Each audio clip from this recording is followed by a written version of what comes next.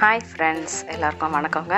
Welcome to visual treats இன்றைக்கி ஒரு பூண்டு குழம்பு செய்முறையை பற்றி தாங்க பார்க்க போகிறோம் இது ஒரு கல்யாண விருந்தில் நான் சாப்பிட்டு பார்த்தேங்க. இந்த குழம்பு ரொம்ப அருமையாக இருந்தது. நான் அதே மாதிரி செஞ்சு பார்க்கலான்னு ஒரு நாலஞ்சு முறை ட்ரை பண்ணேங்க. இப்போ இந்த அளவு வந்திருக்கு. டேஸ்ட் ரொம்ப நல்லா இருக்குங்க. எப்படி செய்யலான்னு பார்க்கலாங்க. நான் ஒரு பாத்திரத்தில் நெல்லெண்ணெய் எடுத்திருக்கேங்க. ஒரு மூணு டேபிள் ஸ்பூன் நெல்லெண்ணெய் அது கூட சாம்பார் வெங்காயங்க. ஒரு அரை கப் அளவு. இதை போட்டு கொஞ்சம் நல்லா வதக்கிக்கிறேங்க. அது கலர் மாற தேவையில்லை. லைட்டாக வதங்கினா போதும். அதுக்கப்புறம் கொஞ்சம் உப்பு சேர்த்துக்கிறேங்க. அதுக்கப்புறம் மஞ்சப்பொடி ஒரு கால் டீஸ்பூன் மஞ்சப்பொடி சேர்த்துக்கிறேன். அதை போட்டு நல்லா வதக்கிக்கிறேங்க.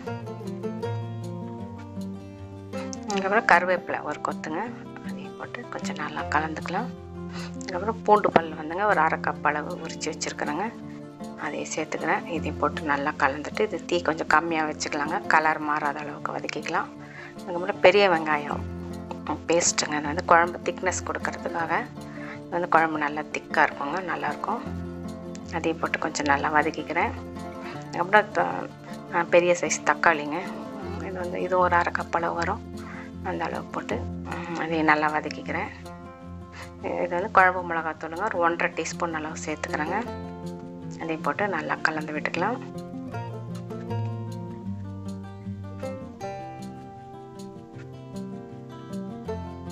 அடுத்து சுடு தண்ணி ஊற்றுறேங்க இது வந்து பூண்டு வேகிறதுக்கு குழம்பு கொதிக்கிறதுக்கு ஒரு முந்நூறு எம்எல் அந்த அளவு ஊற்றிக்கலாங்க இது போட்டு தண்ணி ஊற்றி நல்லா கலந்து விட்டுக்கிறேங்க.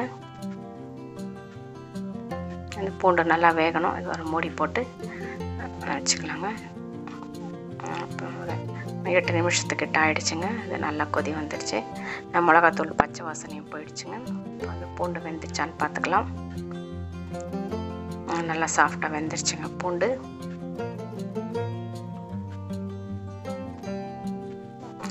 அதுக்கப்புறம் அந்த குழம்புக்கு தேவையான அளவு புளி தண்ணிங்க.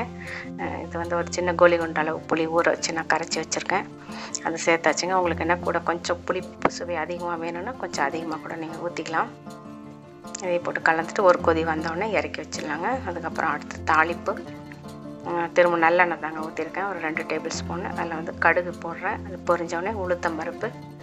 இது கொஞ்சம் நல்லா சேக வரணுங்க அதுக்கப்புறம் இதுக்கு கொஞ்சமாக வெந்தயம் சேர்த்துக்கலாங்க. ஒரு ரெண்டு சிட்டிக்கு அளவு வெந்தயம். இது வந்து கொஞ்சம் கடைசியில் போனாங்க போட்டோடனே டக்குன்னு செவந்துடும் அதனால் இதை போட்டு கொஞ்சம் நல்லா பொரிஞ்சோடனே அப்படியே குழம்புல சேர்த்துக்கலாங்க. அவ்வளோதான் இப்போ குழம்பு ரெடி ஆயிடுச்சுங்க. இது வந்து ரொம்ப ரொம்ப அருமையாக வந்து இந்த குழம்பு நீங்கள் இந்த மாதிரி செஞ்சு பாருங்கள் இது வந்து சாதத்தில் போட்டு சாப்பிட்றதுக்கு ரொம்ப அருமையாக இருக்குங்க இந்த குழம்பு. இது ஒரு நாள் வச்சு மறுநாள் சாப்பிட்டாலும் ரொம்ப நல்லாயிருக்கும் இதே மாதிரியே செஞ்சு பாருங்கள் இட்லிக்கு வேணால் கூட நம்ம தொட்டுக்கலாங்க. பிடிச்சதுன்னா ஆனால் கொஞ்சம் அதுக்கு புளிப்பு நம்ம கம்மியாக சேர்த்துருக்கணுங்க. சரி அளவு புளி சேர்த்துருந்தோம்னா இட்லிக்கு செட் ஆகாது. பாருங்கள் குழம்பு நல்லா வந்துடுச்சு வேறு ஒரு பவுலுக்கு மாற்றிக்கிறேன் நான்.